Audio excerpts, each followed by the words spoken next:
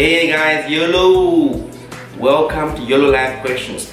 This week we're gonna focus on marriage, so we went around asking a few questions about marriage. What are some of the reasons for marriage failures?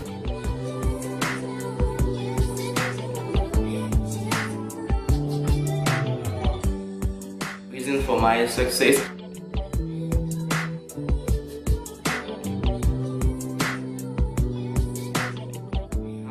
Improve the bond within families and how can we avoid all these broken families around the world?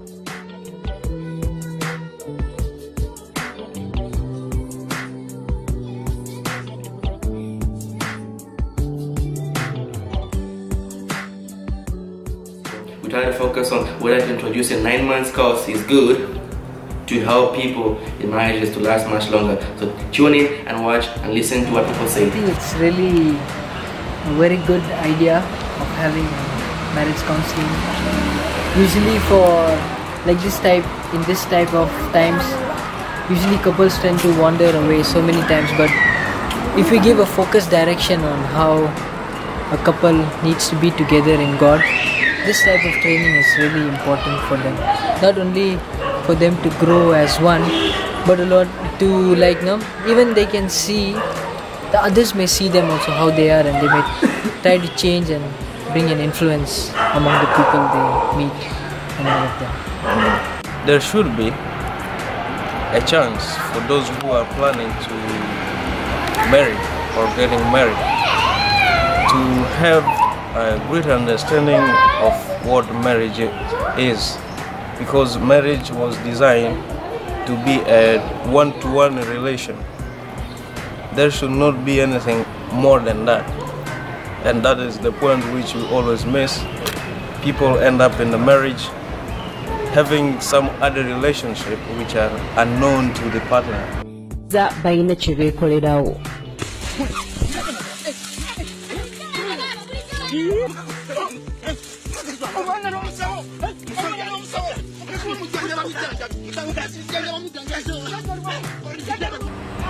and at the end everything is messed up and uh, they end up divorcing which affect the life of the children which have been begotten in the relationship.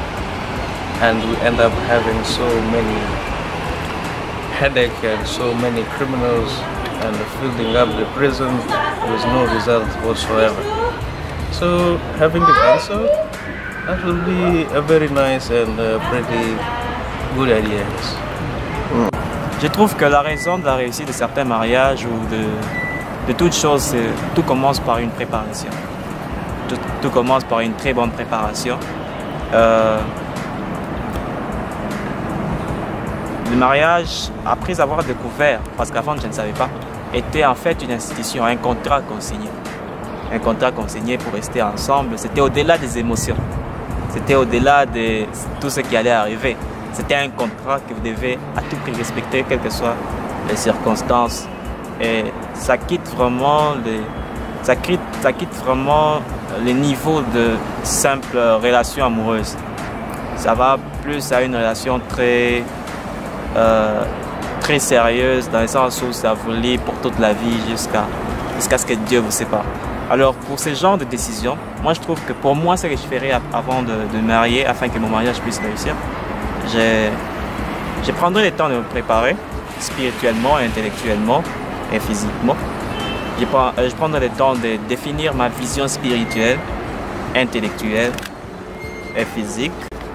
Euh, je prendrai le temps d'observer euh, des femmes ou une femme qui a la même vision que moi. Parce que je trouve que ce qui maintient, c'est la seule chose qui peut maintenir des gens long- pendant longtemps dans une, dans, par exemple, en relation ou dans un même sous un même toit, c'est la vision. Parce qu'il est bien écrit dans les proverbes que where there is no vision, people perish. And the marriage has to have a, uh, a, uh, a particular uh, vision that both the couple, uh, both the person, including the couple, uh, you know, are involved in it. Alors, si notre mariage a une vision, si mon mariage a une vision très particulière qui peut s'étendre sur 15 ans, 10 ans, qui peut être renouvelé après 10 ans, après 15 ans, après 20 ans, après 30 ans, après 50 ans, jusqu'à ce que même nous mourons et que nous laissons une legacy.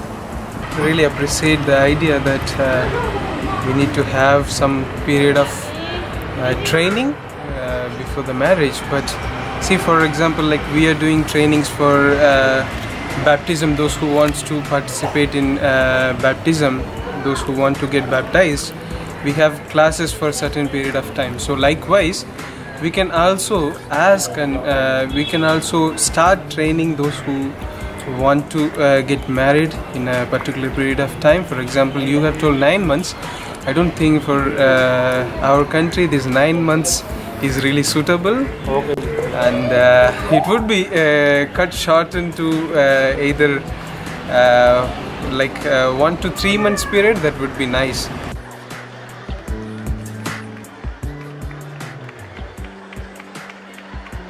If you really want to uh, have uh, this family you don't need even a preacher to uh, preach but the way you live uh, is uh, already speaking to the neighborhood. So uh, yeah for this marriage you really need to think because the bible also teaches and even paul warns us that not everyone is called for this. Some are called for this some are called for that he is mentioning. So not everyone is called for the marriage that we really need to understand. La durée du mariage dépend beaucoup plus de la qualité de personnes qui sont incluses dans les mariages. Euh, tout comme la durée d'une chose dépend de la qualité de la chose. Euh, je trouve que il est très très important d'être bien préparé à prendre la décision, d'avoir de bonnes informations et beaucoup plus de vraies informations et de se donner à 100% dans le mariage. Parce que quand on se donne à 50%, ça veut dire qu'on ouvre une, qu'on laisse 50% pour voir ailleurs et pour détruire le mariage. Et dernièrement, j'étais en train de suivre, euh, euh, je crois, une prédication et j'ai entendu euh, une chose qui m'a vraiment beaucoup tourmenté. Comment pourrais-tu, pourrais-tu chercher un bon mariage ou vouloir que ton mariage réussisse en même temps tromper ta femme?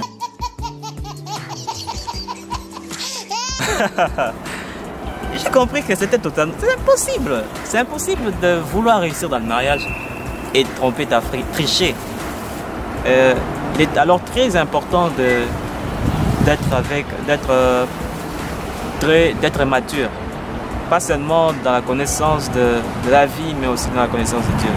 Parce que les circonstances et les situations qui arrivent, qui peuvent bouger le mariage, le couple à un moment, euh, ne dépend pas toujours de personnes incluses.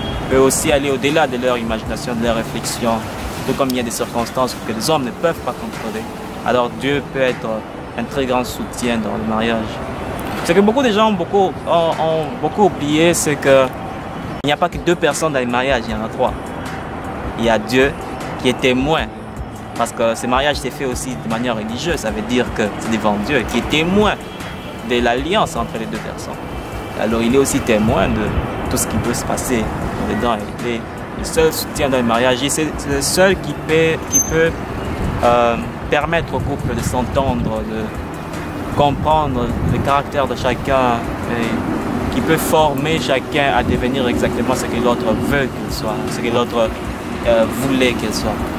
And so I think that um, the church is supposed to be very much interested in training its young ones to understand the basis of marriage before they enter into it.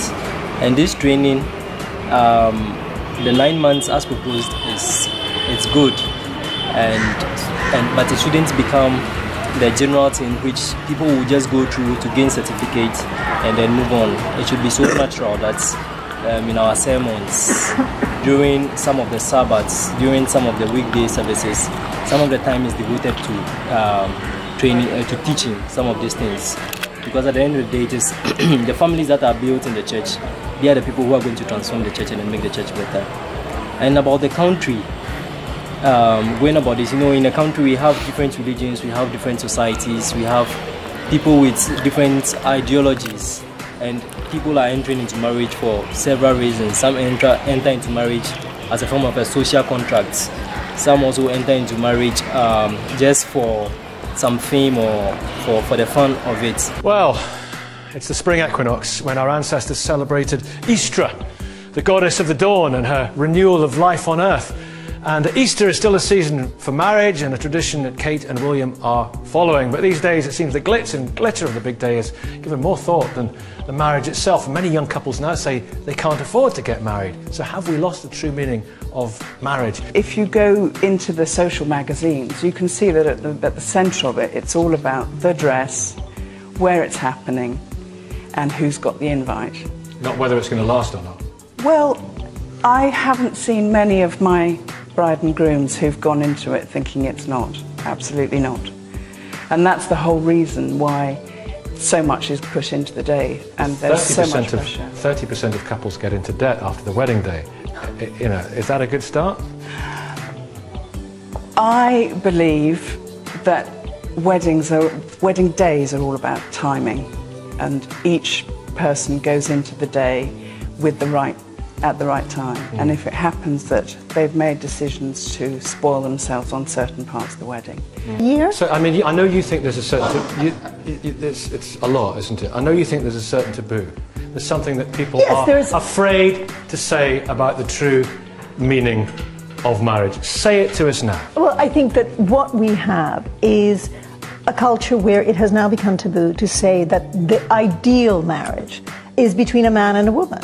And I think that you know I, I shared a car coming here with Peter, and um, and I you know and I think that his position on uh, gay marriage is, is absolutely valid. I think that they can have uh, a civil union, a civil partnership, and I think that's fine. But I think the ideal marriage is still between a man and a woman. They have children, and um, and they're they're committed to one another forever. And I think that it's a shame that that has become you know a no-go area for people to talk about.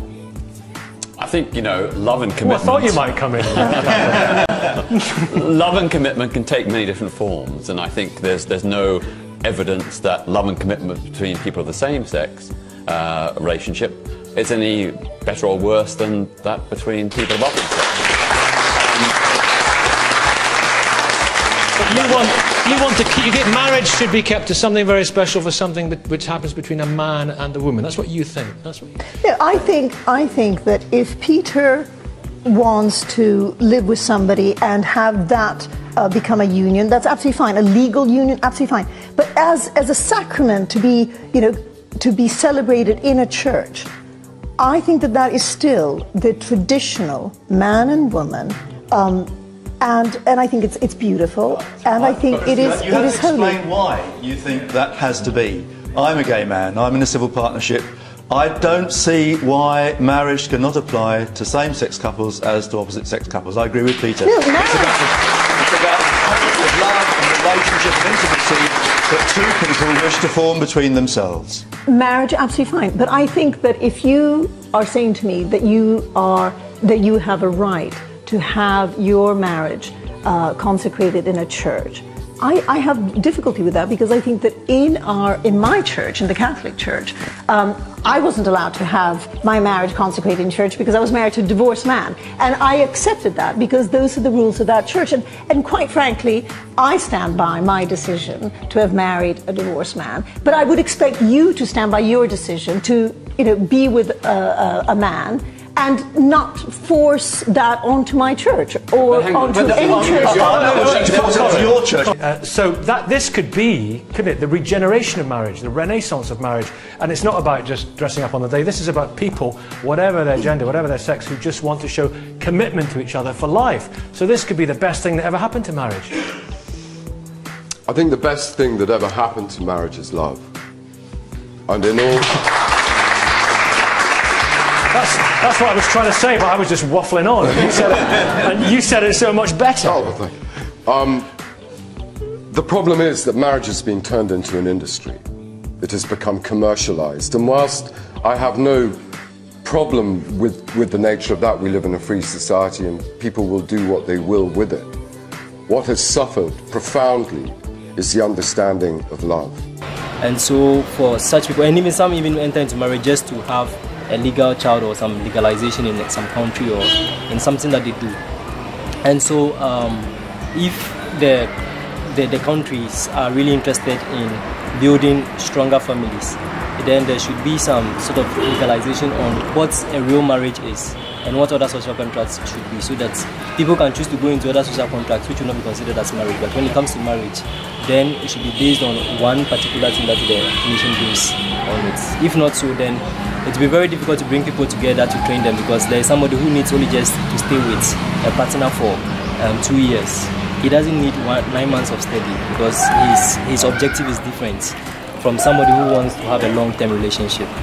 And so, uh, the ways you told that with your fiance you can attend these trainings, I would suggest that those who are willing to get married, those who have interest to uh, towards marriage, they should also get trained because we should need to know what kind of person you want and like uh, what bible suggests towards this. Because once you are already determined that this is the person you are going to get married you are left with no choice means you are accepting that person as your partner and uh, you need uh, even though the teachings tell some different things you are not in a position to uh, reject uh, that a selected person.